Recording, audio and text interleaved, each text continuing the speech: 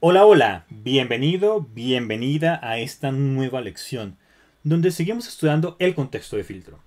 Porque sí, vamos a verlo con Calculate y cada uno de esos elementos que estamos estudiando es importantísimo, pues Calculate está directamente ligado con el contexto de filtro.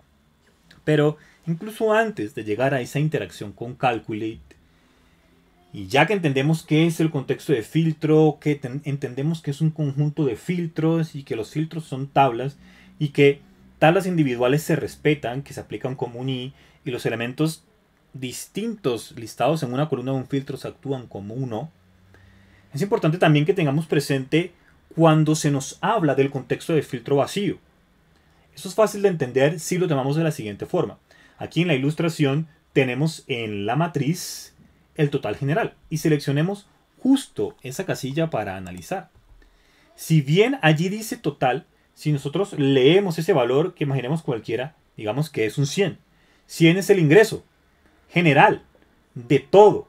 Por lo tanto, no hay ninguna restricción de país, de año, ni nada por el estilo. Por supuesto, deberíamos estar atentos si de repente tenemos alguna segmentación de datos, tenemos algún objeto visual que está filtrando, pero en este caso estamos asumiendo que no hay nada de eso y es la única matriz o el único objeto visual que tenemos disponible en la página. Por lo tanto, aquí pues no hay nada que esté afectando este valor. Eso quiere decir que en nuestro primer paso de identificar filtros, nuestro contexto, nuestro contexto de filtro que tendría, tendría nada. El contexto de filtro existe, ¿bien?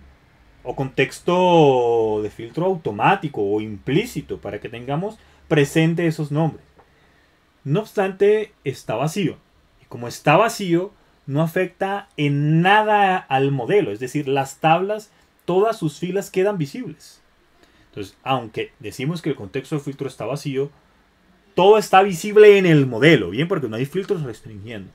Por lo que si nosotros tomáramos de nuestro arsenal de medidas, cualquiera de ellas, como por ejemplo el mini ingresos, pues ese sería el mínimo de todo, el mínimo del total general.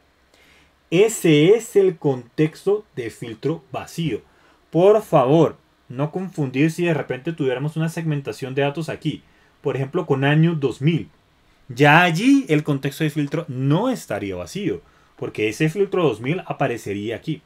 No obstante, si no hay nada más, nada que está restringiendo a esto, o porque hemos utilizado una característica como de interacciones visuales y nada está afectando esta matriz, entonces el total general tendría un contexto de filtro vacío. Antes de cerrar esta lección, quiero que me cuentes en la sección de comentarios si ya conocías esta temática, si tienes preguntas, lo que necesites, estaré muy atento para seguir la conversación. Nos vemos en la próxima lección.